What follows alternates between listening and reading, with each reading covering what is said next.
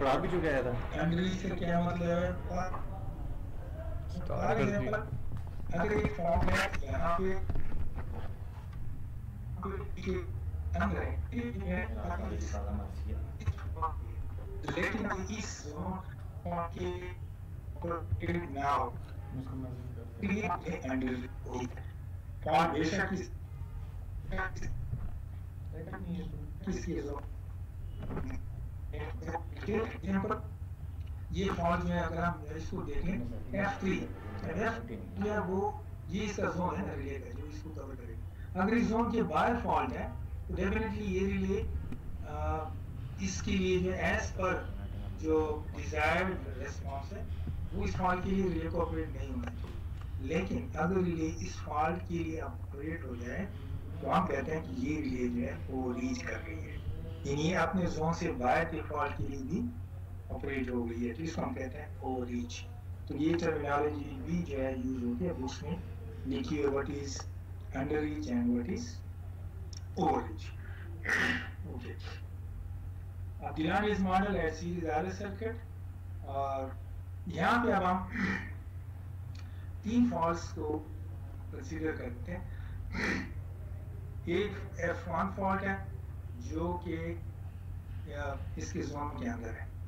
A B is the zone ये पूरा zone है इस रिले का और नीली जो और एफ़ वन जो है, वो ये फॉल्ट है इसके अंदर। दूसरा फॉल्ट हम कंसीडर करते हैं बिल्कुल at the boundary at the boundary of the zone F two और तीसरा फॉल्ट हम कंसीडर करते हैं आउटसाइड द जोन ठीक है जी? ये तीन फॉल्ट्स अब ये तीनों फॉल्ट्स को हम जरा इसकी एनालिसिस करते हैं। तो यहाँ पे एक टेबल गिवन है। इस टेबल में फॉल्ट एक कॉलम फॉल्ट का है। दूसरा कॉलम जो है, वो करंट एट रिले लोकेशन जहाँ पे रिले लगी हुई है। और सीटी जो सिग्नल उसको दे रहा है आई आर उसका कॉलम है। तीसरा कॉलम जो है, वो वोल्टेज का है। ये जो पीटी है, ये जब फॉल्ट आता है, जिस टाइम वोल्टेज यहाँ कितने होते हैं वो जो है तीसरा कॉलम है और चौथा कॉलम जो है वो कंपैरिजन का है। यानी वो क्या करेगा जी? ये कंपेयर करेगा जो पीटी का सिग्नल है और उसके बाद I R Z set Z set याद रखना है। जी सेट क्या है जी? जी सेट इस ट्रांसमिशन लाइन का इम्पीडेंस है। ए से लेके बी तक। जी सेट इसमें आर की वैल्यू भी है और एक्स की वैल्यू भी है। तो क्योंकि ये फिक्स है इसलिए इसको, इसका रीच जो है it is equal to Z set set mean जो थ्रेश वैल्यू है. यानी इसका जोन है. और ये जो लास्ट कॉलम है डिज़ायर रेस्पॉन्स ऑफ़ रिले यानी रेस्पॉन्स क्या होना चाहिए? रिले का. इस फॉल्ट के लिए, इस फॉल्ट के लिए और इस फॉल्ट के लिए. ये हम इसके बाद फिर ला बनाएँगे कि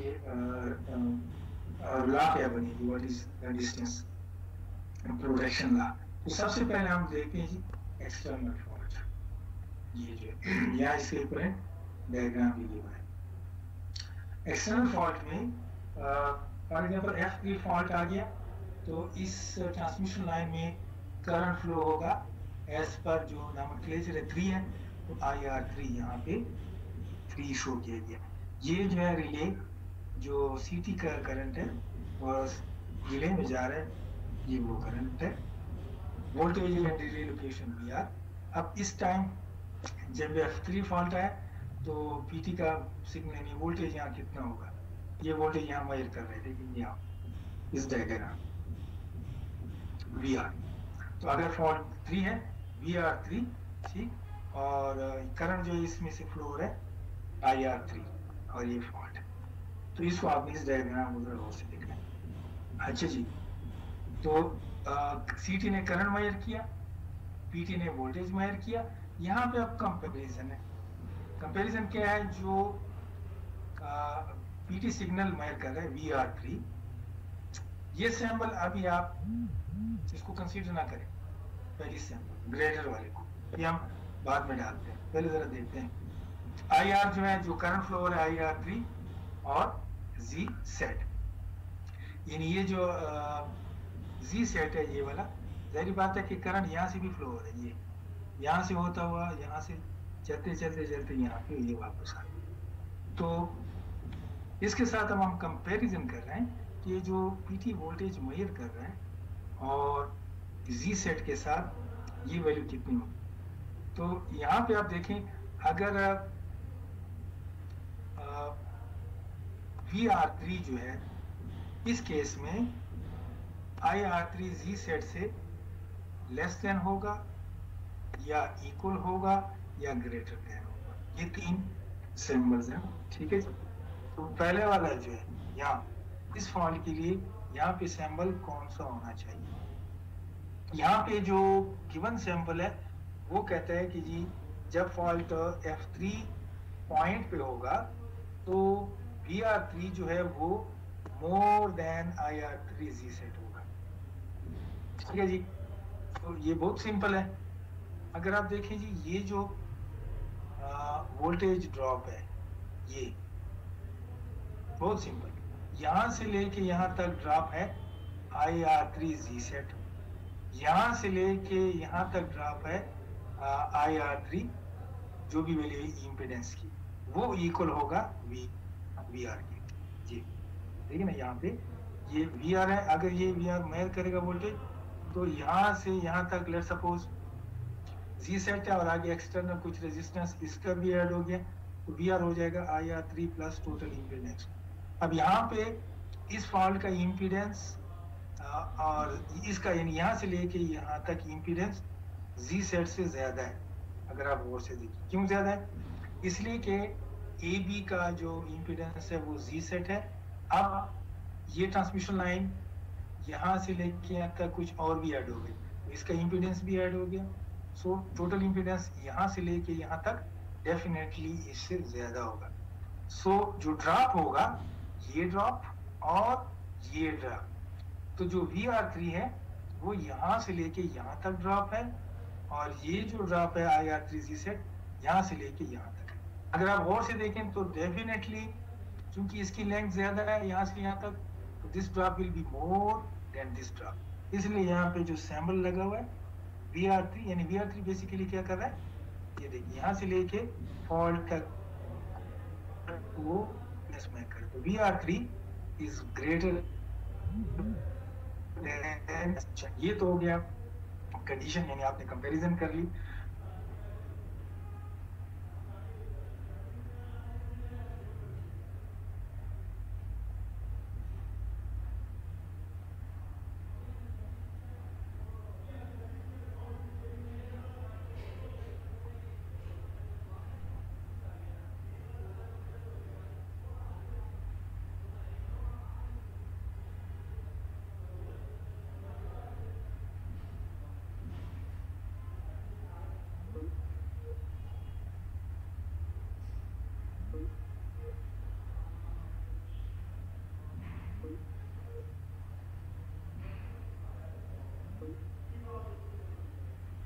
यहाँ जो है what will be the desired response of the rebellion ठीक है जी F3 के लिए वो ये है कि जी ये रिले जो है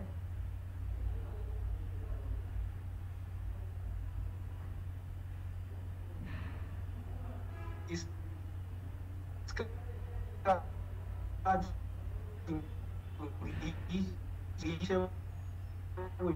वो यहाँ से? से लेके यहाँ?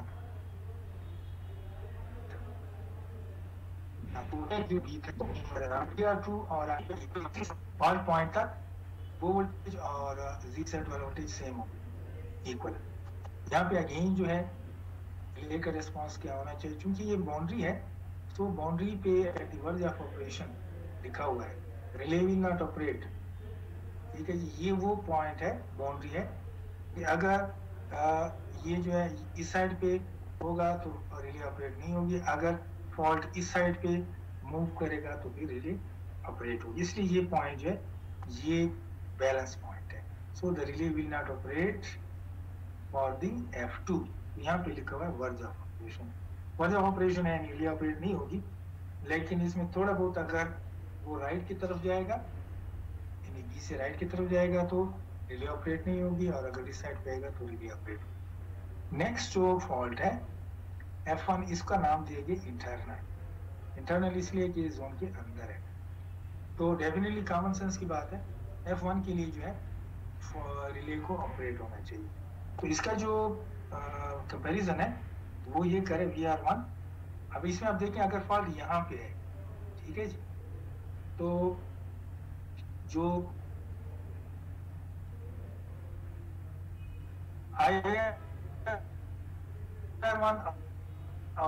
और जी सेट होगा। ज़्यादा है।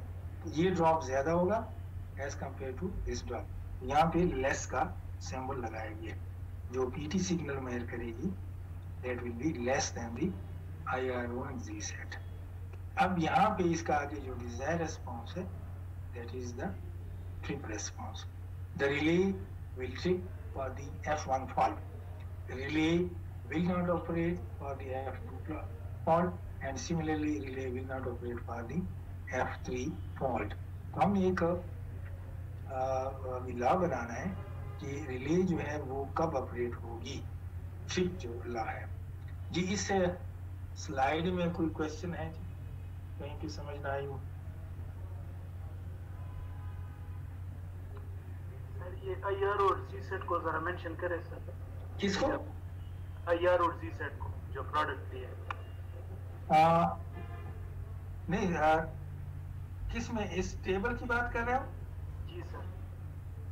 अच्छा। फिगर में थोड़ा शो करें सर। वो फिगर में फिगर में ठीक है। फिगर में आप देखें ना अगर ले सपोज़ मैं F3 को लेता हूँ पहले वाले को लेता हूँ। तो यहाँ पे यहाँ पे आप जरा देखिए जी ये। यहाँ पे इस आई आर को मैं नीचे सब्सक्रिप्ट डालता हूँ थ्री और वी आर को यहाँ सब्सक्रिप्ट डाल लेता हूँ थ्री ये चूँकि जर्नल दिखाया गया ना तो फॉल्ट में आप, जो फॉल्ट आप लेंगे, यहाँ पे आप सब्सक्रिप्ट डालते जाए। आई आर थ्री और ये वी आर थ्री अब देखें आई आर थ्री फ्लो हो रहा है। यहाँ से इस इम्पीडेंस में से, ठीक है जी? ये इम्पीडेंस है up to the fault point तो ये आ जाएगा जी आई आर थ्री और आई आर थ्री अगर आप यहाँ भी देखें तो ये जेड जी सेट से भी फ्लो हो रहा है देखें ना। ये जो है, ये फॉल्ट पॉइंट तक ये वाला है। और I R three G set से भी, यानी जितना इम्पीडेंस है यहाँ पे। फॉर एग्ज़ाम्पल अगर आई आर थ्री और जी सेट मैं ले लूँ तो वो क्या हो जाएगा? ड्रॉप हो जाएगा from this point to this point अगर मैं आई आर थ्री ले लूँ और वो फ्लो हो रहा है यहाँ से लेके यहाँ तक, मेरे पास जो ड्रॉप आएगा वो I R three multiply by impedance up to this point ठीक है, जो यहाँ शो किया गया तो ये जो शो किया गया इसको मैंने वी आर थ्री का नाम दे दिया। और यहाँ से लेके यहाँ तक जो ड्रॉप है, उसको हमने नाम दिया I R three G set इसलिए ये जो है आई आर थ्री जेड ये वाला ड्रॉप है, और वी आर थ्री जो है, ये वाला, ये this drop from this point up to the fault point ठीक है जी? सिमिलरली बाकी फॉल्ट के लिए भी इसी तरह जी।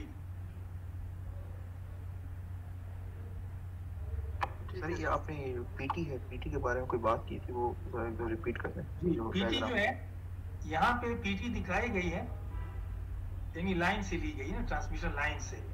तो नॉर्मली ऐसा नहीं होता है। आ, ये जस्ट आपको दिखाने के लिए कि जी दोनों सिग्नल चाहिए। अदरवाइज़ पीटी जो है, वो आप यहाँ से उठा के इस बस के साथ आप कनेक्ट करें, ठीक है जो? प्रैक्टिकली पीटी कनेक्ट होती है that is always connected with the bus bar ठीक है जी? तो बस बार के साथ यहाँ भी ब्रेकर्स कनेक्ट होते हैं शो नहीं किया गया सिंगल लाइन में। तो यहाँ से जस्ट शो करने के लिए। अदरवाइज़ अगर आपसे कोई पूछे PT is always connected with the bus not with the line आपने कहीं पे भी, अगर आप ग्रिड में जाते हैं तो ट्रांसमिशन लाइन भी अगर वो इन हो रही है या आउट हो रही है तो वहाँ पे आपको पीटी नज़र नहीं आएगी। पीटी आपको वहाँ नज़र आएगी जहाँ पे ट्रांसमिशन लाइन टर्मिनेट हो गई या स्टार्ट हो गई लेट सपोज़ ये स्टार्ट हो गई ट्रांसमिशन लाइन और ये चली गई दूसरी ग्रिड को। तो पीटी जो है वो ट्रांसमिशन लाइन के यहाँ पे कनेक्ट नहीं होती वो बेसिकली बस के साथ connect this is the bus ठीक ये पॉइंट ठीक है जी? सर, वो जो होता है सर, वो आप सर वो हमारे क्विज में भी था सर कि वो फेस टू फेस भी कनेक्ट हो जाता है और सर लाइन टू लाइन होता है। तो सर, उसकी जो पीटी साथ कनेक्ट होती है, उसमें कोई डिफरेंस होता है, सर? है हमेशा पीटी जो है ना थ्री फ़ेज़ पीटी अब यहाँ पे फेस टू फ़ेज़ या लाइन टू लाइन एक ही चीज़ है याद रखना है, ठीक है? Phase to phase and line to line एक ही चीज़ है। उसमें आप जब उस पे जाते हैं ना फेस टू न्यूट्रल ठीक है तो जनरली जो टर्मिनोलॉजी यूज़ है जी फ़ेज़ वोल्टेज फ़ेज़ वोल्टेज जो है, वो नॉर्मली वो कहते हैं कि फ़ेज़ टू न्यूट्रल वोल्टेज जो टर्मिनोलॉजी यूज़ होती है नॉर्मली लोग ऐसी जो है ना, जब बातें करते हैं आपस में, और फेस टू फेस जो वोल्टेज होते हैं, वो लाइन टू लाइन होते हैं। अच्छा अब पीटी जो कनेक्ट होती है, वो हमेशा लाइन टू लाइन कनेक्ट यानी थ्री फ़ेज़ पीटी होगी तो यहाँ पे ये सिंगल बस है ना, यहाँ पे तीन बसेस होंगी। और हर बस के साथ जो है उसका एक कॉइल कनेक्ट होगा। तो वो थ्री फ़ेज़ पीटी होगी। अब उसका जो स्टार पॉइंट है स्टार पॉइंट वो जो है, वो यूज़ हो सकता है। अगर आपके पास रिले जो है, वो फ़ेज़ टू न्यूट्रल वाली है तो आप फ़ेज़ टू न्यूट्रल वोल्टेज ले लेंगे पीटी से। अगर वो रिले जो है फेस टू फ़ेज़ है तो आप फेस टू लेकिन आपके पास जैसे ट्रांसफार्मर में होता है डिस्ट्रीब्यूशन ट्रांसफार्मर सबको पता है तो डिस्ट्रीब्यूशन ट्रांसफार्मर में। अगर किसी के मीटर यानी घर में चाहिए 380 वोल्ट या 400 वोल्ट तो वो क्या करते हैं? थ्री फ़ेज़ मीटर लगाता है और उसमें तीनों फेजेस जो है वो वो यूज़ करते हैं। लेकिन बाद में मैक्सिमम लोग या वो सिंगल फ़ेज़ मीटर लगाते हैं, उसको फ़ेज़ टू न्यूट्रल पावर चाहिए। तो वहाँ पे वो जो है सिंगल फ़ेज़ मीटर लगाते हैं। तो ये जो है पीटी के साथ दोनों अवेलेबल होते हैं। ठीक है? थ्री फ़ेज़ पावर भी सप्लाई भी अवेलेबल होती है और single phase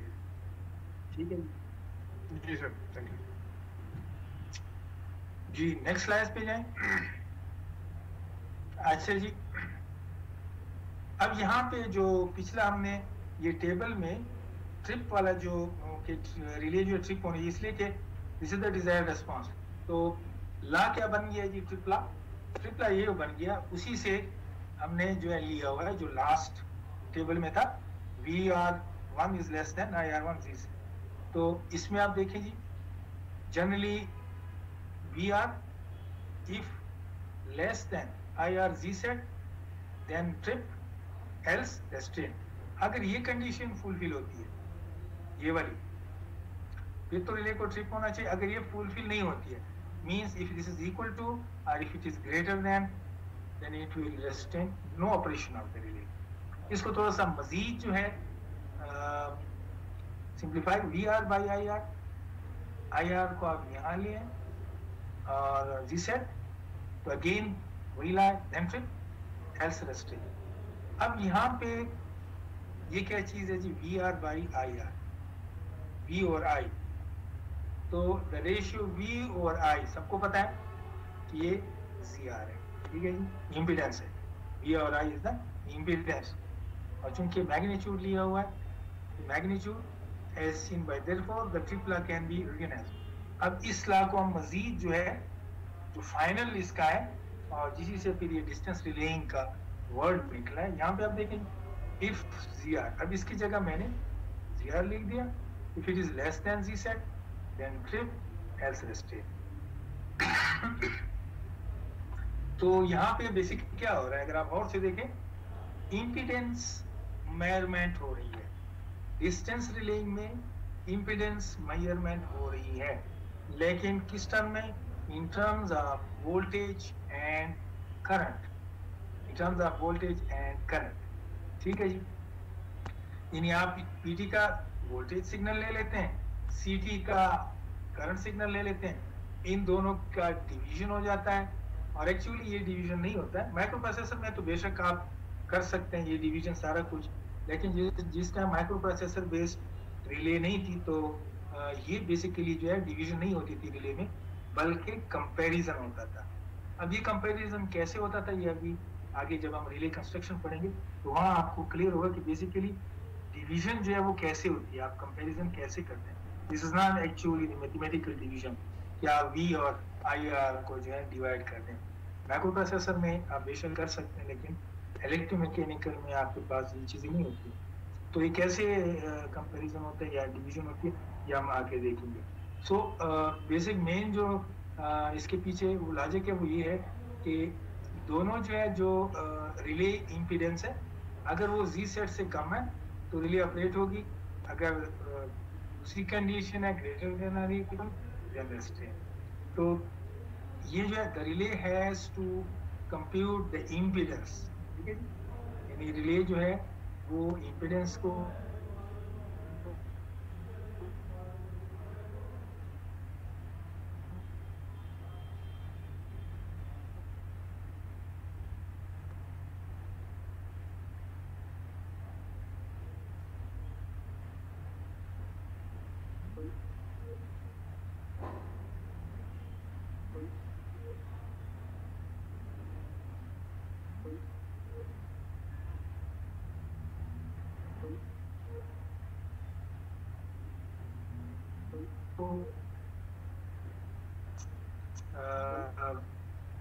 as seen from our solution जहाँ पे relay and compare it with set value और सेट वैल्यू क्या होगी?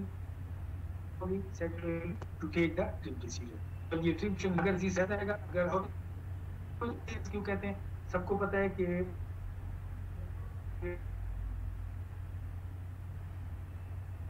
ट्रांसमिशन लाइन जो है जो है, उसका इम्पीडेंस किस पे डिपेंड करता है? डिस्टेंस पे करता है तो डेटा गिवन होता है ना कट्टर का वो आपको मिलीमीटर में अगर आपको याद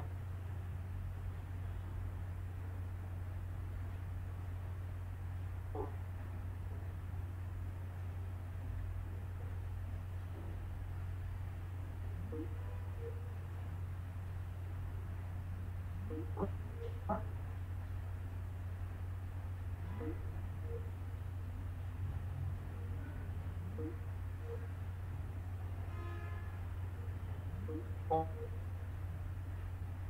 ओम्स पर किलोमीटर में जीवन जीवन होता है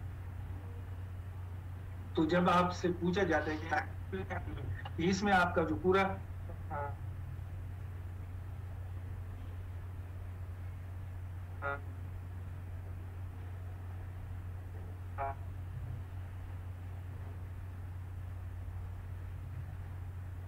अ,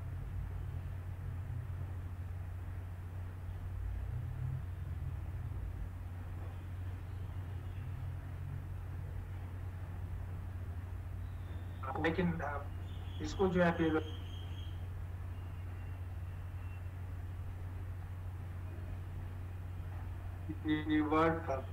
सिर्फ़ इम्पीडेंस टाइप्स रिलेज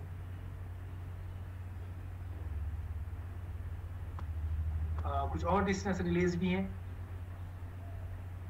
जैसे इसमें मजीद जो है सब टाइप्स हैं, लेकिन मेन जो है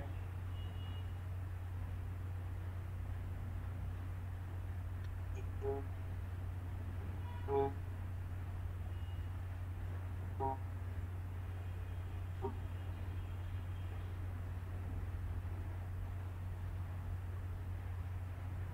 तो इसलिए है और मौके है इसलिए इसको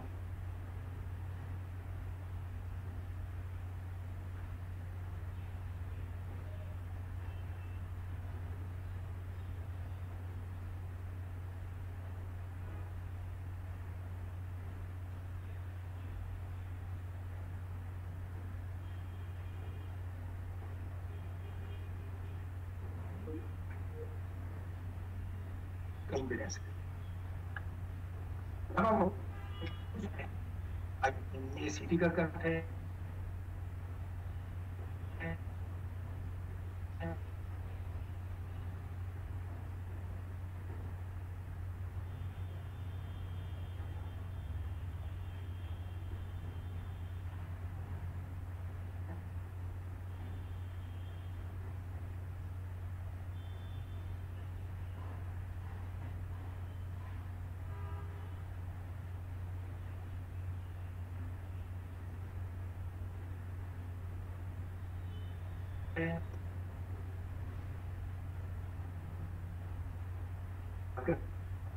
footage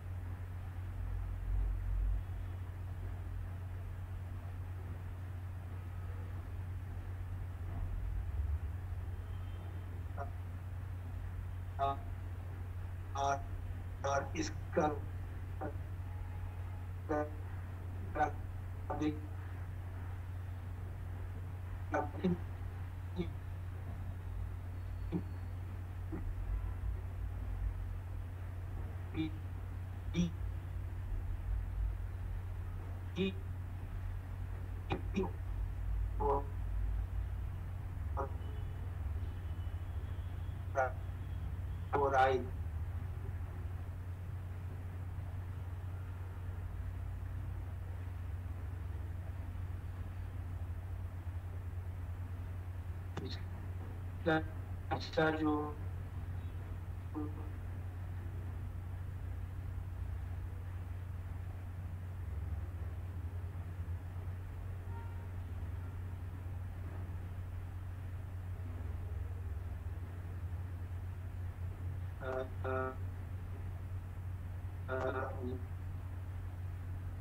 ये था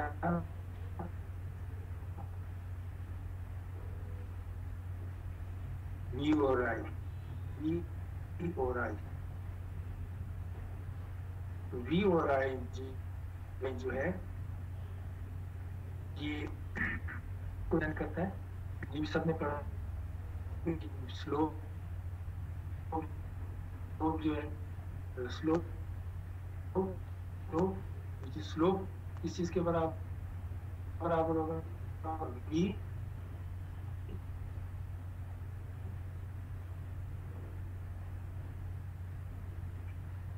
और इसका स्लोप बेसिकली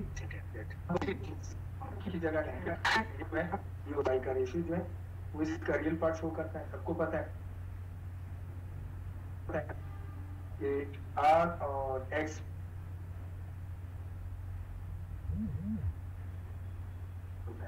जैसे अगर आपको याद होगा इम्पीडेंस डायग्राम ये बेसिकली डायग्राम है, इसको एक्सटेंड किया गया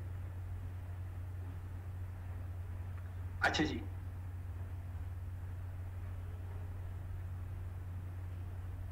This is a straight line with slope e- slope equal to the line characteristics angle.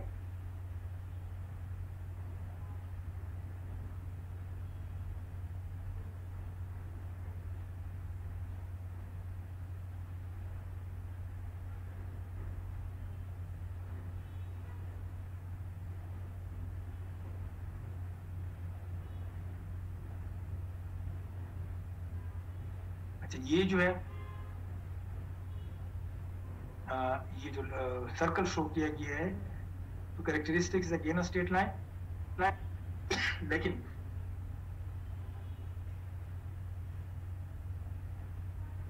इस और ये टेस्ट में ये ठीक है जी?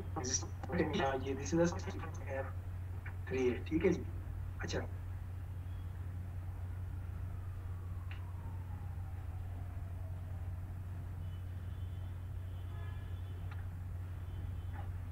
इसको इस तरह से बनता है।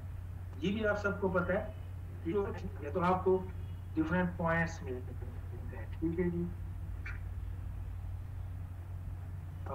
और कांस्टेंट वैल्यू है, उसी का आप रेडियस लेके एक सर्कल ड्रा कर सकते हैं, ठीक है? दिस शोज़ द इम्पीडेंस ठीक है जी? ये जो क्वेश्चन है, यहाँ पे आप कर सकते हैं कि जी माइनस आर कहाँ से आ गया जी? और माइनस एक्स कैसे होता है? तो मैंने आर बेसिकली आप एक फॉरवर्ड होता है, एक रिवर्स होता है, ठीक है? ये क्वाड्रेंट्स जो है। फॉरवर्ड क्वाड्रेंट और ये पहला जो है एंड तीसरा।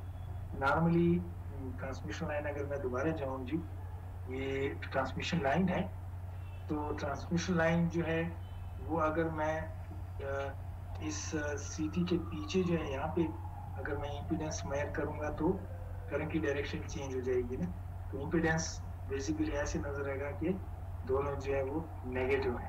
नेगेटिव नहीं होते बेसिकली आपकी जो करंट की डायरेक्शन है, वो अगर फॉल यहाँ पे है तो फिर ये सीटी जो है वो यहाँ से यहाँ इम्पीडेंस मेयर करेगी। लेकिन चूँकि करंट की डायरेक्शन अपोजिट है इससे तो इसको हमने पॉजिटिव लिया, इसको हमने नेगेटिव लिया। दैट इज़ इट शोज़ इस लाइन को अगर मैं एक्सटेंड कर दूँ ना, इनके ऐसे तो फिर ये फॉरवर्ड ट्रांसमिशन लाइन जाएगी और ये यहाँ पे बैकवर्ड हो जाएगी। ठीक है? बाकी उसी तरह मेथड अच्छा एक तो ये है जी कि जो सर्कल है, वो शो करता है, इसके एक अंदर रीजन है और एक इसका बाहर वाला रीजन है। ठीक है, ये बाहर वाला। तो अंदर वाले में क्या लिखा हुआ है जी? अंदर वाले में लिखा हुआ है ट्रिप और बाहर वाले में लिखा हुआ है रेस्ट्रेन है यानी कहीं भी भी है रेस्ट्रेन है रेस्ट्रेन है रेस्ट्रेन है। ये सारा एरिया जो है इसे बाहर रेस्ट्रेन होगा और इसके अंदर वाला जो होगा वो ट्रिप रीजन होगा। तो अगेन अगर आप ट्रांसमिशन लाइन प्रीवियस जोन में ट्रांसमिशन लाइन देखिए उसमें अ, जो एफ़ टू फॉल्ट था वो बिल्कुल बाउंड्री पे है। लेकिन ये बाउंड्री है। तो इसके लिए रिले ऑपरेट नहीं होगी। एफ़ थ्री जो है वो इस बाउंड्री से बाहर है। इसके लिए भी रिले ऑपरेट नहीं होगी। F1 जो है वो इस सर्कल के अंदर है। ठीक है जी? तो जो भी पॉइंट होगा, यानी फॉल्ट यहाँ है यहाँ है यहाँ है, इस सर्कल के अंदर जो होगा, इस लाइन पे तो वो सारा ट्रिप रीजन होगा और इस सर्कल से बाहर जो होगा, वो रेस्टेनिंग रीजन होगा। ये जो है करेक्टरिस्टिक्स आप शो करता है इम्पीडेंस रिले की करेक्टरिस्टिक्स ठीक है जी? और सर्कल आपको पता है कि जो इक्वेशन ऑफ़ ए सर्कल है, अगर आपको याद होगा तो उसमें आपने X square plus Y square is equal to R square अगर आपको याद होगा। This equation of a circle R is the radius of the circle तो ये भी सेम है। अगर मैं यहाँ पे x की जगह r ले लूँ, y की जगह x ले लूँ और r की जगह z ले लूँ, मेरे पास ये सर्कल आ जाएगा। ठीक है तक पॉइंट जो है वो यहाँ पे इसका जो सेंटर पॉइंट है वो ज़ीरो ज़ीरो पे होगा। यानी एच की वैल्यू अगर आपको याद होगा वो इस केस में ज़ीरो है। So this is the characteristics of a simple impedance relay on RX plane. जी इसमें कोई क्वेश्चन है? Characteristics से रिलेटेड नो सर अच्छा जी अब हम आगे नेक्स्ट जो स्लाइड है ये बहुत इंपॉर्टेंट इक्वेशन है। यूनिवर्सल टार्क की इक्वेशन और इस इक्वेशन को आप किसी भी प्रोटेक्शन रिले पे अप्लाई कर सकते हैं। ठीक है जी? सो ये इसलिए इसको कहते हैं यूनिवर्सल टार्क इक्वेशन यहाँ पे थोड़ा सा इसको हम एक्सप्लेन करते हैं कि टी क्या है जी? और फिर आगे जो है ये टर्म्स हैं जी। पहला टर्म है, फिर ये दूसरा है, तीसरा और चौथा है। नहीं। अच्छा जी। इसमें हर टर्म जो है उसको आप ऑलरेडी हम पढ़ चुके हैं। ठीक है जी? ये चारों के चारों टर्म्स हम पढ़ चुके हैं। थोड़ा सा जो है आपको अ, इसको हम जरा डिस्कस करते हैं फिर आपको क्लियर होता जाएगा कि ये हम कहाँ पे पढ़ चुके हैं जी कैसे। इसको इम्प्लीमेंट करें। तो इसके इस इक्वेशन में चार टर्म्स हैं जी। और इसके साथ प्लस है सारी एड हुए हैं। जब आप इस स्टार की इक्वेशन को किसी भी प्रोटेक्शन रिले पे अप्लाई करते हैं तो उसमें आप ये देखते हैं कि उस रिले में ऑपरेटिंग टार्क किस पे डिपेंड करता है रेस्टेनिंग टार्क किस पे डिपेंड करता है। फॉर एग्जांपल अगर हम लेते हैं आर्मेचर अट्रैक्शन रिले ठीक है जी? आपको याद होगा आर्मेचर अट्रैक्शन रिले उसमें ऑपरेटिंग टार्क जो था, वो था करंट डिपेंडेंट ठीक है, आप करंट जब फ्लो करता है उस कायल में से तो ऑपरेटिंग टार्क अब अगर वो करंट जो है ज़्यादा है, उसका टार्क स्प्रिंग का स्प्रिंग से स्प्रिंग कांस्टेंट से स्प्रिंग के टार्क से ज़्यादा है तो रिले ऑपरेट हो जाती है एल्स रेस्ट्रेन अब अगर मैं आर्मेचर अट्रैक्शन रिले को अप्लाई करूँगा, यानी उस पे जो है इस इक्वेशन को अप्लाई करूँगा तो इसमें कौन से टर्म्स मैं लूँगा और कौन से टर्म्स को मैं ज़ीरो कर दूँगा? ठीक है जी? तरीका ये। तो आर्मेचर अट्रैक्शन में आपको याद होगा, हमने करंट लिया था तो यहाँ पे वो टर्म आप लेंगे जो करंट डिपेंडेंट है।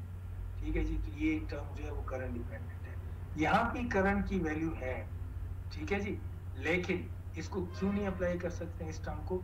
रीजन ये है कि जो आर्मेचर अट्रैक्शन रिले है, उसमें आपको याद होगा, उसमें हम सिंगल एक्चुएटिंग क्वांटिटी रिले या आइदर आप उसको वोल्टेज देते हैं या करंट देते हैं। ठीक है, और फिर जब टार्क इक्वेशन में आप पुट करते हैं तो टार्क इक्वेशन में फाइव वन फाइव टू तो फाइव वन फाइव टू चूँकि दोनों करंट्स हैं, इसलिए वो स्क्वायर हो जाता है। यहाँ पे करंट का स्क्वायर यहाँ पे स्क्वायर आप ले लेंगे। एक तो ये टर्म ले लेंगे के वन आपको पता है कांस्टेंट है, जो रिलीज़ की है। अच्छा नेक्स्ट कौन सा टर्म लेंगे? अब मैं इस टर्म पे आता हूँ, क्या मैं इस टर्म को ले सकता हूँ? आर्मेचर अट्रैक्शन में नो इसलिए आपको पता है कि आर्मेचर अट्रैक्शन में रिले में either you will take current और either you will take voltage दोनों एट ए टाइम नहीं यूज़ होते हैं वहाँ पे सिंगल एक्चुएटिंग क्वांटिटी इसलिए इस टर्म को भी क्रॉस कर लीजिए ये आपने यूज़ नहीं करना है। यहाँ पे आ जाएँगे। तीसरा टर्म अगर आपको याद होगा, हमने डायरेक्शनल रिले पढ़ी और ये इक्वेशन आप पिछले वो जो स्लाइड्स हैं, वो अगर आप देखें, उसमें हमने कैरेक्टरिस्टिक्स में इक्वेशन डिराइव किया तो ये इक्वेशन चूँकि डायरेक्शनल रिले में यूज़ होती है और आपको पता है armature attraction is not a directional relay so ये टर्म ये यूज़ नहीं होगा क्रॉस कर लीजिए। यहाँ पे लास्ट में आ जाए के फोर है। के फोर आपको पता है, ये स्प्रिंग कांस्टेंट है। हर रिले में आपको एक स्प्रिंग मिलेगा। तो उसकी जो जिसका जो टार्क होगा that will be to K four तो आर्मेचर अट्रैक्शन में स्प्रिंग भी लगा होता है। सो जब आप इस टार्क इक्वेशन को उस पर अप्लाई करेंगे तो आप ये वाले टर्म ले लेंगे और ये के फोर बाकी जो है इसको क्रॉस कर लेंगे, ये आप नहीं लेंगे। अच्छा एक तो ये पॉइंट हो गया। दूसरा पॉइंट इंपॉर्टेंट ये है कि यहाँ पे इक्वेशन में सारे टर्म्स पॉजिटिव में शो किए गए हैं। नॉर्मली ऐसा नहीं होता है। आप जब किसी भी रिले पे इस इक्वेशन को अप्लाई करेंगे तो वहाँ पे कुछ टार्क्स पॉजिटिव होते हैं, कुछ टार्क्स नेगेटिव होते हैं। ठीक है जी?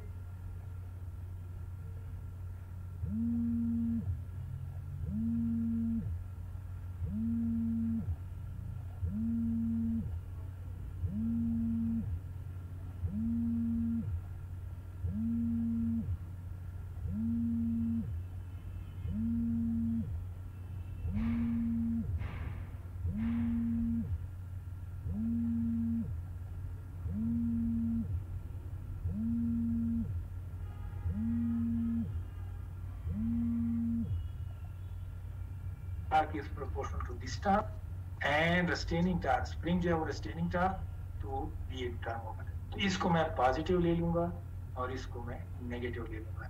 अगर मैं आर्मेचर अट्रैक्शन पे का टार्क इक्वेशन लिखूँगा तो मेरे पास इक्वेशन आ जाएगी T is equal to K1 IR square minus K four बस, ये जो है उसका टार्क इक्वेशन अब आप इसी तरह कोई भी रिले आप ले लें।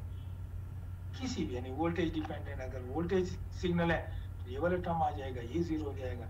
अगर कोई डायरेक्शनल रिले है तो ये टर्म आ जाएगा। अब ये टार्क इक्वेशन इसलिए इंपॉर्टेंट है कि आगे जो डिस्टेंस प्रोटेक्शन स्कीम है, वहाँ पे हम इस टार्क इक्वेशन को अप्लाई करेंगे। ठीक है जी? पिछले उसमें हमने अप्लाई नहीं किया है, लेकिन उसकी टार्क डेरिवेशन की है। तो वहाँ से जितनी रिलेज हमने पढ़ी है, ये भी पढ़ ली, ये भी पढ़ ली, ये भी पढ़ ली, ठीक है? तो फिर इन दोनों को जो है एक जनरल टर्म इक्वेशन बना ली गई।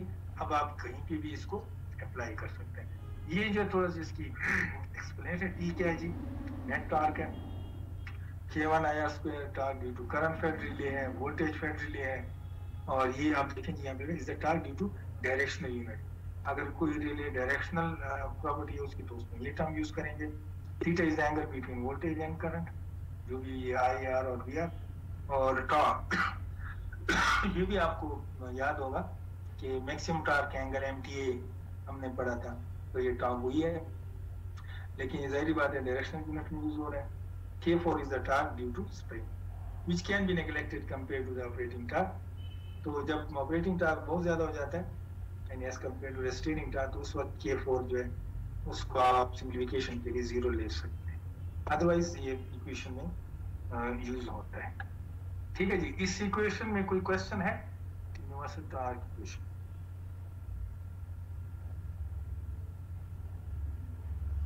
no sir no sir अच्छा सर ये पेपर्स के बारे में बताएँ कि इसमें होगा या सर एमसीक्यूज टाइप ही होंगे? तू अभी पेपर के बारे में सोच रहा था जब मैं पढ़ा रहा था? नहीं हाँ? सर। हाँ? नहीं सर। पेपर अभी खत्म हो जाए फिर मैं आपसे डिस्कस करता हूँ ठीक है? परेशान नहीं हो रहे ठीक है? अभी आप अभी सबके दिमाग में पेपर बैठा हुआ है कम से टेंशन दे। तू है। तू मतलब है कि देख रहा था या तू सोच रहा था कि पेपर कैसे होगा? हाँ? सर ये स्लाइड एक्सप्लेन कर रहे हैं ये डर रहा था कि सर कई वाइवे में ये चीज़ें ना पूछ ले। अच्छा अच्छा। परेशान नहीं चला भी है। एक दो स्लाइड है इसके बाद स्टॉप करते हैं फिर पेपर डिस्कस करता हूँ ठीक है जी? है ओके नेक्स्ट स्लाइड जी आते हैं जी। अब ये जो ट्रिपला है ना जो पिछला हमने पढ़ा था उसको जो टार की इक्वेशन है वो हम इम्प्लीमेंट करते हैं ठीक है जी? तो यहाँ पे ऑपरेटिंग टार्क है ऑपरेटिंग टार्क जो है torque which tends to close the trip contact ठीक है? जैसे अभी हमने डिस्कस किया कि ऑपरेटिंग टार्क को हमेशा पॉजिटिव लेते हैं और ये क्या करता है? ये ट्रिप कंटेक्ट को क्लोज करते हैं। ये बेसिकली ट्रिपिंग करता है। और is always taken as positive restraining torque जो है, ये वो टार्क है? Which tends to oppose the closing यानी वो ट्रिप कंटेक्ट को अपोज करता है क्लोज और इसको हम हमेशा नेगेटिव लेते हैं। तो ये जो जनरल टार्क की इक्वेशन है, इसको हम इंप्लीमेंट करते हैं सिंपल इम्पिडेंस रिले पे ठीक है जी? अब सिंपल इम्पिडेंस रिले जो है, वो जो पिछले हमने इक्वेशन पढ़ी है तो यहीं से हम वो टर्म्स लेते हैं और इंप्लीमेंट करते हैं। देखिए जी, यहाँ पे टार्क इक्वेशन में वही ये चार टर्म्स है। अच्छा इम्पिडेंस रिले में कौन कौन से टर्म्स लेते हैं? आप सीटी का सिग्नल भी देते हैं इम्पिडेंस रिले को, और पीटी का भी। तो यहाँ पे एक ये टर्म ले लेते हैं। और एक ये टर्म ले लेते हैं। अलहदा अलहदा इसलिए लेते हैं कि उसका दो वो होते हैं। एक ये और दूसरे फिर भी आगे जो इसका स्ट्रक्चर हम यानी कंस्ट्रक्शन देखेंगे। तो सीटी जो है, एक ये टार्क जनरेट करता है सीटी का सिग्नल और दूसरा टार्क जनरेट करता है पीटी का सिग्नल डायरेक्शनल यूनिट इसमें यूज़ नहीं हो रहा है, ठीक है? ये टर्म ज़ीरो हो गया, ठीक है? और ऑफ़ कोर्स के फोर भी है। वो भी यूज़ होता है। और जब मैं इसका टार्क इक्वेशन लिखूँगा तो टार्क इक्वेशन जो है, वो कैसे होगा जी? टार्क इज़ इक्वल टू याद रखना है कि जो डिस्टेंस रिले या इम्पीडेंस रिले है, उसमें operating torque is proportional to this signal and straining torque is proportional to this signal और एक ये टर्म भी होगा। तो इसमें तीन टर्म यूज़ हो रहे हैं। वन टू थ्री ये वाला क्रॉस हो जाएगा। अच्छा अब जैसे हमने कहा कि एक पॉजिटिव होगा, एक नेगेटिव होगा तो चूँकि ऑपरेटिंग टार्क है तो ऑपरेटिंग टार्क को हम पॉजिटिव लेते हैं। इसके साथ प्लस साइन हो जाएगा, इसके साथ नेगेटिव साइन हो जाएगा and of course K four के साथ भी नेगेटिव साइन हो जाएगा। तो ये दोनों जो टार्क्स हैं, ये रेस्टेनिंग है विथ नेगेटिव साइन और ये जो है पॉजिटिव हो जाएगा। ये तो है, इसका पूरा टार्क इक्वेशन जो वैल्यू आप निकालेंगे कि कितना टार्क आता अब यहाँ पे अगेन जो प्रीवियस हुआ है ट्रिपला यहाँ पे हम ट्रिपला तो ट्रिपला क्या है जी?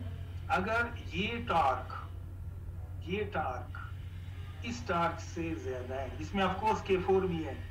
लेकिन जैसे हमने कहा कि जब रिले ऑपरेट होती है तो उसमें के फोर की वैल्यू मिनिमम होती है इसलिए इसको हमने इस इक्वेशन में नहीं अदरवाइज़ यहाँ पे आप इसके साथ ऐड कर सकते हैं प्लस के फोर तो ज़रूरत नहीं है यहाँ पे इसको वेरी स्मॉल वैल्यू मिनिमम तो इसको हम नेग्लेक्ट करें फॉर सिंप्लीफिकेशन अच्छा अब ट्रिपला क्या कहते हैं जी?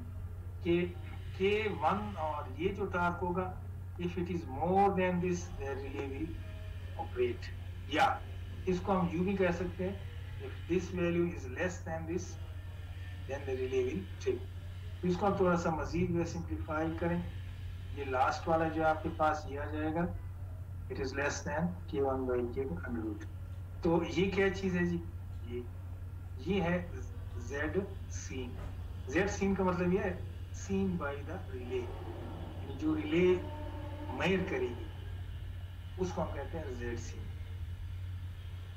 तो ये जो राइट साइड पे है जेड सी ये K one by K three ये कांस्टेंट है. ठीक है जी? तो पिछला जो ट्रांसमिशन लाइन था, उसमें चूँकि इस साइड पे इम्पीडेंस क्वांटिटी है तो इस साइड पे भी इसको भी इम्पीडेंस होना चाहिए। अब ये है कांस्टेंट वैल्यू के वन भी कांस्टेंट होगा और के टू भी कांस्टेंट होगा। तो कांस्टेंट वैल्यू जो है, अगर आप देखें ट्रांसमिशन लाइन में हमने शुरू में जो है लिया हुआ है इम्पीडेंस ये जी सेट ये कांस्टेंट हमने लिया हुआ है। ये चेंज नहीं हो रहा है, ठीक है? यहाँ से लेके फिक्स वैल्यू है। ये कांस्टेंट वैल्यू है जी सेट और इसकी जो वैल्यू होगी वो इन कांस्टेंट से आ जाएगी, ठीक है जी? इतना ये बनता है। तो वही इक्वेशन जो है, जो पिछला हमने ट्रिपला पढ़ा था इफ़ जेड सीन ये z सीन है, if z सीन less than z set, then trip else rest trip ये हमने अप्लाई कर लिया। स्टार की इक्वेशन को जब आप अप्लाई करते हैं इम्पीडेंस रिले तो again the same law will be used. So this is called triple of other simple impedance relay जी इसमें कोई क्वेश्चन है?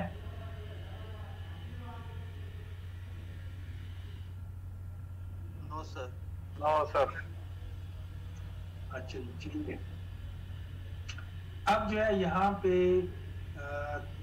जो पिछला हमने जितना मैथमेटिकल पढ़ा ना उसको जरा यहाँ पे इम्प्लीमेंट किया गया है। बैलेंस बीम स्ट्रक्चर पे, ठीक है, यानी जो इलेक्ट्रोमैकेनिकल रिले है। बहुत सिंपल है। यहाँ पे आप देखें जी, ये ये यूँ समझे आर्मेचर है या बीम है। सेंटर पॉइंट बैलेंस बीम है जी। और this is spring spring connect है एक यहाँ पे वोल्टेज का यूज़ हुआ है, यहाँ पे, और एक जो है ऑपरेटिंग का है। ठीक है जी? ये भी जो है इलेक्ट्रोमैग्नेटिक है, ये भी इलेक्ट्रोमैग्नेटिक है। यहाँ पे बेसिकली बाहर जो है वो आपको नज़र नहीं आ रहा है सिर्फ़ कायल शो है। बेसिकली यहाँ पे एक कोर है और कोर के ऊपर ये वाइंडिंग है। यहाँ भी कोर है कोर के ऊपर ये वाइंडिंग है। ओके अब ये रिले जो है, वो कैसे ऑपरेट होती है? अगर बहुत सिंपल वो है, यहाँ देखेंगे, अगर ऑपरेटिंग टार्क और स्ट्रेनिंग टार्क इक्वल है इक्वल देन ये बीम जो है यहाँ पे बेसिकली क्या है, ये इधर अट्रैक्ट करता है और ये यहाँ अट्रैक्ट करता है। अगर ये दोनों टार्क सेम है, उसके साथ ऑफकोर्स स्प्रिंग भी इसके साथ ऐड हो रहे हैं। ये रेस्ट्रेनिंग टार्क तो ये प्लस ये और अगर ये इसी के इक्वल है this beam will be balance और ये जो कॉन्टेक्ट्स हैं ट्रिप वाले, ये क्लोज नहीं होंगे। ठीक? अब, जैसे लॉ है द रिले ऑपरेट्स तो वही प्रीवियस जो है के वन जो है जो ये, इसका टार्क है? It must be greater than यानी फॉर एग्जांपल ये ऑपरेटिंग टार्क है अगर ये वैल्यू ज़्यादा होगी तो ये बीम जो है, ये अट्रैक्ट करेगा। नीचे ऐसे जाएगा तो ये ऊपर जाएगा और ये जो है it will close these two contacts and chip output जाएगा ये ब्रेकर को ओपन करेगा। तो यहाँ पे वही जो है यूज़ किया गया है कि z seen if less than z इसका मतलब है कि operating torque is more than this the will operate as restraint. यहाँ पे इसका जो ब्लॉक डायग्राम है, यहाँ पे आप z set होता है, v set वैल्यू आप देते हैं, और vr सिग्नल ir सिग्नल देते हैं जब रिले ये वाली कंडीशन आ जाती है देन ये कॉन्टेक्ट क्लोज हो जाते हैं और आगे तो ब्रेकर को सिग्नल चला जाए तो इस ये जो है implementation of simple impedance relay using balance beam structure. तो ये जो है रिले कंस्ट्रक्शन है रिले कैसे ऑपरेट होती है। जी इसमें कोई क्वेश्चन है?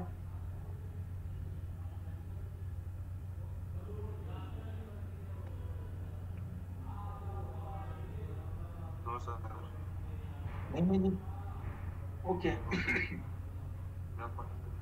तो चले जी आज है ना? यस सर काफ़ी है जी। यस सर सर अब थोड़ा बताएँ। जी?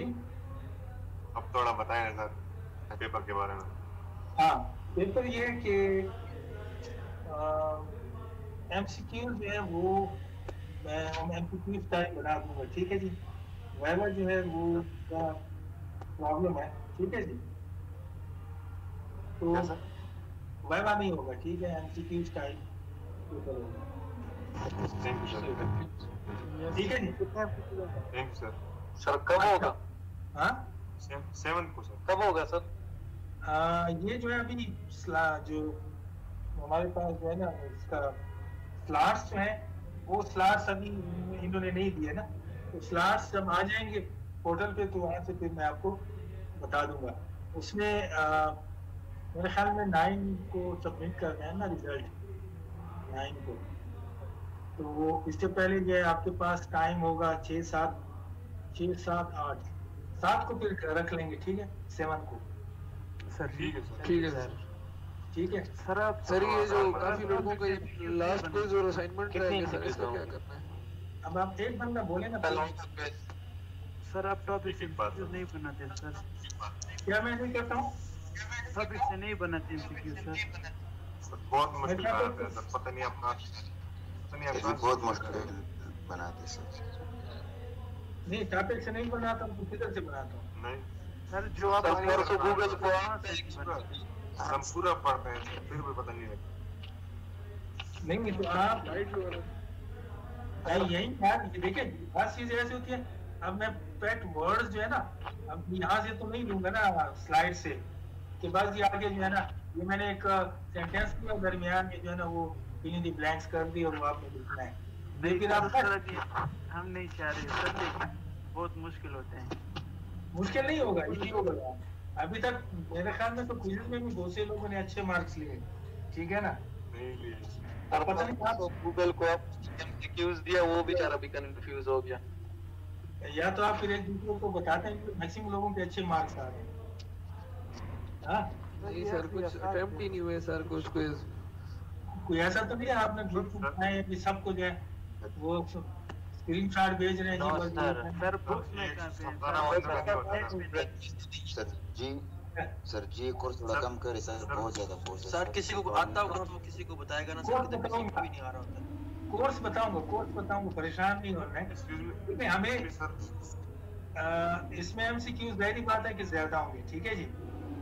फाइनल पेपर है। तो एमसीक्यूज हमें जो रेसिपीज़ मिले वो तो काफ़ी ज़्यादा एमसीक्यूज बता रहे हैं ना। क्योंकि फिफ्टी फिफ्टी परसेंट है तो फिफ्टी परसेंट का पेपर बनाना है। एनी हाउ मैं कोशिश करूँगा। थोड़ा सा है टाइम कम है टाइम मैक्सिमम है सर। तीन चार घंटे तो दे सर कम क्या चीज़? तीन चार घंटे तो कम से कम दे सर। चार घंटे? तीन घंटे सर पेपर का जो टाइम होगा सर जी आप एमसीक्यूज बना तीन घंटे में आपको दे दूँ। यस सर के लिए तीन घंटे दे दूँ। सर सॉल्व करना होता है। जी सर अच्छा चले मैं तीन घंटे दे दूँगा। ओपन बुक होगा लेकिन क्वेश्चंस मैं फिर दूँगा अपनी मर्ज़ी के। आप ओपन बुक करें। नो सर ओपन बुक नहीं सर।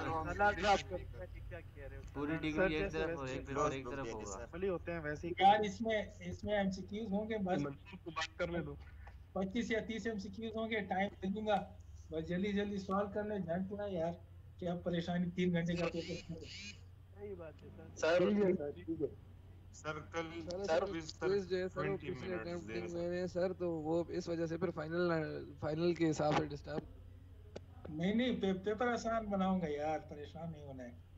सर ये सर। कल तरह जो है कल- कल- तो कल आपका क्विज जो है वो होगा चार चार पंद्रह पे होगा ठीक है जी? Four fifteen sir sir differential differential protection में only differential protection only differential protection बस। ट्रांसफार्मर है sir. जनरेटर नहीं है। जनरेटर नहीं है बस बार नहीं है ट्रांसफार्मर है। याद रखना है ठीक है, है sir. जी? differential protection. 20 मिनट्स दें सर यार मेरे भाई तीन क्वेश्चन है ट्वेंटी मिनट दे दूँ तूने तूने तुम सबने बैठ के करना है इकट्ठे होके हाँ? सर उस टाइम सर आखिरी टाइम में फ़ोन काम नहीं करता सर है पता नहीं क्या हो जाता है है है है है अगर आप बिस्मिल्लाह पढ़ के ईमानदारी के साथ सॉल्व करेंगे तो हो जाएगा। बताना नहीं पेपर के लिए कोर्स मिनिमम दे दे सब टाइम है। बताऊँगा बताऊँगा जी पेपर के लिए कोर्स बताऊँगा ठीक है? अभी नहीं बताऊँगा। कोर्स खत्म होने दे कल और परसों। फिर परसों मैं आपको कोर्स बताऊँगा कि कितना कोर्स आपने तैयार करना है ओके? ठीक है तो सर सर कल क्विज कितने बजे है? इस कल है चार पंद्रह। पंद्रह पेज चार पंद्रह। ठीक है। ठीक है सर। तो तैयारी करके आना है ठीक है मेहरबानी करें क्योंकि इसके बाद जो है ना मैं फिर वो नहीं करूँगा। है इम्प्रूव करें और फिर इसके बाद मैं अपलोडिंग करूँगा ठीक है फाइनल रिज़ल्ट होगा। ओके सर सर ठीक है सर। ठीक थोड़ा है। आसान बनाए बस। थैंक यू सर आसान है यार अभी थैंक यू आसान होगा इंशाल्लाह आसान होगा ठीक है जी अच्छा जी क्वेश्चन है कोई क्वेश्चन नो सर क्वेश्चन बताएँ अगर कोई क्वेश्चन है तो।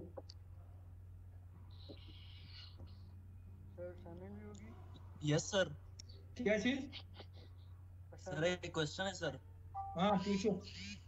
सर जो जनरेटिंग स्टेशन होता है और दूसरा ट्रांसमिशन स्टेशन होता है सर जो जनरेटिंग स्टेशन में रिले लगे होती है ये डिफरेंशियल ये हाँ। डिस्टेंस की ये। तो वो जो ट्रांसमिशन लाइन का जो लेंथ है जनरेटर हाँ। स्टेशन से लेकर ट्रांसमिशन वो स्टेशन तक इसको वो करेगा मतलब उसके लिए काम करेगा सर? या इसको मैं इसको मैं आपको ये सिंपल सिंपल में समझा दूँ ना। अ, अबराबाद का चले मैं यहाँ पे आपने देखा होगा मरी रोड पे ग्रिड स्टेशन देखा है ना? देखा है? नहीं। अबराबाद की बात कर रहा हूँ। सर यस सर देखा है ना? यस सर अच्छा आपने ग्रिड स्टेशन देखे हैं कॉम्प्लेक्स के पीछे? सर अच्छा ये दो ग्रिड स्टेशन है ना? अब फॉर एग्जांपल वहाँ मरी रोड जो ग्रिड स्टेशन है वहाँ से अगर आपने देखा होगा ट्रांसमिशन लाइन आ रही है कॉम्प्लेक्स के पीछे ग्रिड स्टेशन में ठीक है? यस तो डिस्टेंस रिले कहाँ लगी होगी? वो मरी रोड के ग्रिड स्टेशन में डिस्टेंस रिले लगी होगी जो इस पूरे ट्रांसमिशन लाइन को यानी मरी रोड के ग्रिड स्टेशन से लेके कॉम्प्लेक्स के ग्रिड स्टेशन तक जो डिस्टेंस है वो वो डिस्टेंस रिले जो है वो कवर करेगा। ठीक है जी? इसके अलावा जो है आगे हम पढ़ेंगे ये तो मैंने सिंपल बता दी ना। बाज़ औक़ात ऐसा भी होता है कि अब यहाँ से कॉम्प्लेक्स से आगे फिर जाएँ जी बालाकोट की तरफ़ मानसेरा की तरफ़। वहाँ भी एक ग्रिड स्टेशन होगा। तो अगर उस ग्रिड स्टेशन का ट्रांसमिशन लाइन भी कवर हो रहा है ना उसकी रिले भी यहीं पे लगी होगी मरी रोड। ये मैं समझाऊँगा कि आपने ये मरी रोड पे जो है ये फिर कैसे कवर करता है? इस ग्रिड स्टेशन को भी और मानसेरा वाले को भी और पॉसिबिलिटी ये भी हो सकती है कि बालाकोट तक वो कवर करे। यही एक रिले ठीक है? तो कैसे कवर करेगा इंशाल्लाह ये हम आगे देखेंगे इसमें ठीक है जी? जी और कोई क्वेश्चन है? चार ये थक गए यार चार पंद्रह। थक गए हो? यस सर बहुत खाना खाने का टाइम अच्छा आज बहुत कम लोग हैं भाई। अटेंडेंस मैंने आज ली नहीं सबको जो नहीं है उनको मैंने एब्सेंट करना है। Yes sir. यस सर, है? सर दो पेजेस हैं। आज अभी जो है मेरे पास पता नहीं 43 लोग। 44 पूरे सर 44 हैं बाकी किधर हैं हाँ